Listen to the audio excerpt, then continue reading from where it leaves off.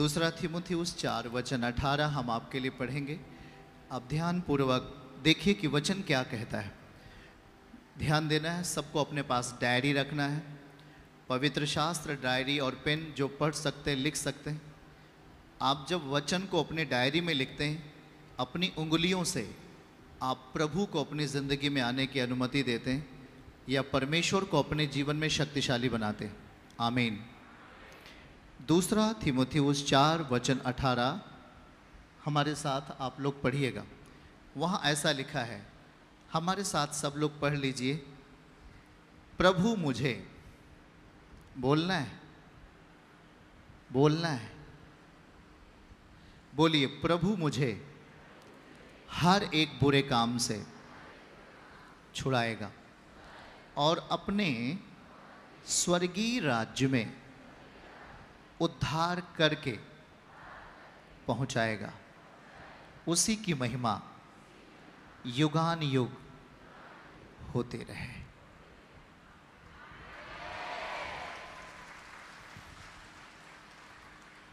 अब जितने लोग लिख सकते अपने डायरी में आप इस वचन को लिख लो। जितने लोग नहीं लिख सकते, उसे अपने मन में लिखना है।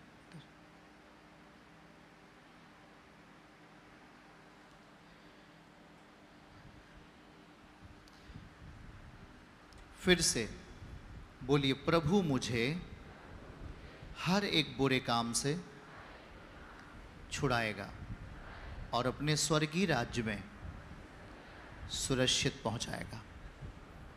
आमीन। तो हमें कौन से राज्य में प्रभु ले जाना चाहते हैं? स्वर्गीय राज्य। अब आपको ये पता चल गया कि अभी मैं जिस राज्य में हूँ, यह संसार का राज्य है। यहाँ संसार का बल दिखाई देता है। लेकिन हमारे आपके लिए एक बड़ी खुशखबरी ये है कि हमारे लिए एक स्वर्ग राज्य है। आप समझ रहे हैं? पर स्वर्ग के राज्य की जो तैयारी है, वो इसी संसार की दुनिया में प्रभु हमें करने के लिए कहा है।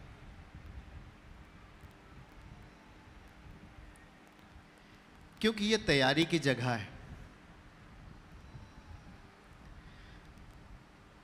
अभी तक हमें ये मालूम नहीं था।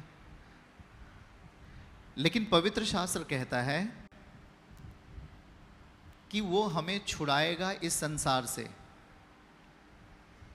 इस संसार की गंदगी से छुड़ाकर हमें स्वर्गीय राज्य में ले जाएगा। आमीन। मतलब समझिएगा। इसका मतलब है कि जिस राज्य में अभी हम हैं, यह एक सांसारिक राज्य है, एक संसार की दुनिया में है। यहाँ इंसान शरीर में खत्म होगा, मिट्टी में मिलेगा। लेकिन जब शरीर से कुछ निकलेगा, अभी एक बेटे के शरीर से तो बहुत बुरा चीज़ निकला और वो फिर से मनुष्य के रूप में आ गया। लेकिन हमारे आपके अंदर एक मनुष्यत्व है, एक व्यक्ति है। उसे हम आत्मिक व्यक्ति कहते हैं और उसका भोजन आत्मिक है। अब हम उस आत्मिक व्यक्ति को तैयार कर रहे हैं स्वर्गीय राज्य के लिए। आमीन। क्योंकि बाइबल कहती है कि जब प्रभु यीशु मसीह का आगमन होगा, दोबारा आगमन यीशु मसीह बादलों पे आएगा तो वो अपने साथ किसे उठाएगा? उस व्यक्ति को उठाएगा जिसने आत्मिक रीत से चाल चलना सीखा है। जिसने अपने जीवन को आत्मिकता में परिपूर्ण किया है। जो दोष भावना से जिया, कटु भावना से जिया, और कुटिलता की भावना लेकर इस जगत में रहा, वो कभी भी उस आत्मिक मनुष्य के स्वभाव में बन नहीं सकता। और इसलिए आज यहाँ पर प्रभु हमें कहता है कि मुझे प्रभु हर एक बुरे काम से छुड़ाएगा। एक बार ठीक ठीक तुम पढ़ लो भाई, आप लोग पढ़ लीजिए क्या लिखा है। क्योंकि यही वचन आपको छुड़ाएगा। सीधा सीधा लिखा है कि प्रभु मुझे हर एक बुरे काम से क्या करेगा? इसका मतलब बुरा काम। हमें स्वर्गीय राज्य में जाने नहीं देता है। बुरी परिस्थितियाँ हमें स्वर्गीय राज्य में अवरोधक हैं, रुकावट हैं। और इसलिए प्रभु आज अपने प्रिय बेटे बेटियों से कह रहा है कि पापों से मन फिराओ, क्योंकि स्वर्ग का राज्य निकट आ गया है। आमीन कहिए आप। स्वर्ग का राज्य कहाँ आ गया है भैया? एक दूसरे से बोलिए, निकट आ गया है। निकट आया कि नहीं आया?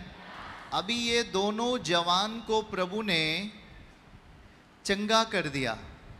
ये दोनों जवान को कोई जुखाम, बुखार की बीमारी नहीं थी। इनको एक ऐसी समस्या थी जो शायद ये कभी छूट पाते। लेकिन इनको किसने छुड़ाया? बोल के बताइए। ये दोनों जवान को किसने छुड़ाया? तो परमेश्वर का राज्य उनमें आ गया है। जब तक परमेश्वर का राज्य उस व्यक्ति में जाएगा नहीं, वो आज़ाद ही नहीं हो सकता। और यीशु मसीह ने कहा कि जहाँ पर मेरे नाम से दुष्ट आत्माएँ निकाली जाती हैं, बीमार चंगे किए जाते हैं, मेरा राज्य वहीं पर है। आप सोच लो। प्रभु कह रहा है कि मैं तुझे बुरे काम से छुड़ाने आया हूँ। कोई गलत किया है? वो हमें बुरे काम से छुड़ाने के लिए आया, वो यीशु मसीह गलत काम कर रहा है। और हमें कौन से राज्य के लिए स्टैंड कर रहा है, खड़ा कर रहा है? कौन से राज्य में ले जाने के लिए? पड़ोसी को हाथ पकड़ो, स्वर्गीय राज्य में जाना है। आमीन। अब कोई ये कहे कि हमें कभी मरना ही नहीं है तो वो तो उसका एक पागलपन है। क्योंकि प्रभु ने मृत्यु का स्वाद चखा। क्यों चखा? प्रभु चाहता तो मरता नहीं, लेकिन वो क्यों मरा? क्योंकि वो धरती पे आकर ये देखना चाहता था कि मनुष्य के ऊपर क्या क्या दुख आते हैं। बेचारा बीमारी में होता है, गरीबी में चला जाता है, कोई धनवान आदमी गरीब को सताता है, दुख सहता है। वो सारी चीज़ें का अनुभव किसने लिया? यीशु पिता ने। और ये भी अनुभव लिया कि मैं भी मौत में जाऊँगा। मौत का स्वाद क्या किया? जैसे हम लोग खाना खा के स्वाद चख लेते ये इसमें नमक ज़्यादा है या कम है? वैसा प्रभु कहता है, मैंने मृत्यु का स्वाद चखा। चखने के बाद उस मृत्यु को हरा कर उस बीमारी को हरा कर तीसरे दिन फिर से हमारे आपके लिए जी उठा।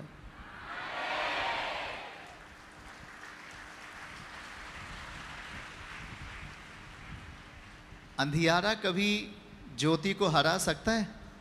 वैसे ही समझ लो। यीशु मसीह योहन्ना आठ के बारह में लिखा कि मैं जगत की, जो कोई मेरे पीछे हो लेगा, जो कोई मेरे पीछे हो लेगा, वो अंधियारे में नहीं चलेगा। ये दोनों जवान बेटे अभी जो गवाही दिया, ये किसके पीछे हो लिए? अब बताओ ये ज्योति में है कि अंधियारे में है? ज्योति में आ गए। मौत से छूट गए कि नहीं छूट गए?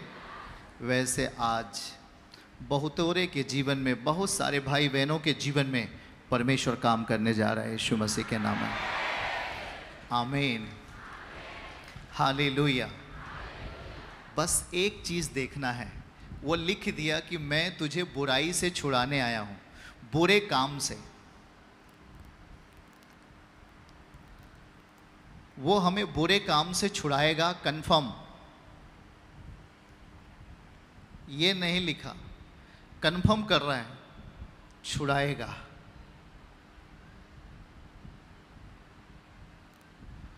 देर नहीं है, पर आपकी भक्ति का आकार कैसा है?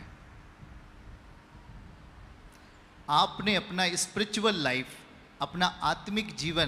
देखो, जब हम मसीह के सामने आते हैं, तब हमें यह भाषा पता चलती है कि हम एक आत्मिक व्यक्ति हैं। नहीं तो हम तो जानवरों की तरह रहते थे। इधर नशा करते, उधर गाली देते, उधर व्यविचार करते, उधर किसी को मारते। रोड पे खड़ा जानवर बगैर जानवर आपको मार दिया, बगैर पूछे। ऐसे ही तो मनुष्य की नीयत हो गई। ये पाप का अस्तित्व है उसके अंदर। किसका? पाप का। और प्रभु कह रहा है कि मैं तुझे बुरे काम से छुड़ा सकता हूँ। वो हमें बुरे काम से छुड़ाएगा और स्वर्ग के राज्य में ले जाएगा। चर्च की सभी प्रार्थनाओं को और परमेश्वर के दास के द्वारा टीचिंग सुनने के लिए और अपडेट्स को जानने के लिए हमारे इस चैनल को सब्सक्राइब करें और साथ में बेल आइकन को ज़रूर दबाएँ ताकि जब भी लाइव प्रार्थना हो तो सबसे पहले आप देख सकें।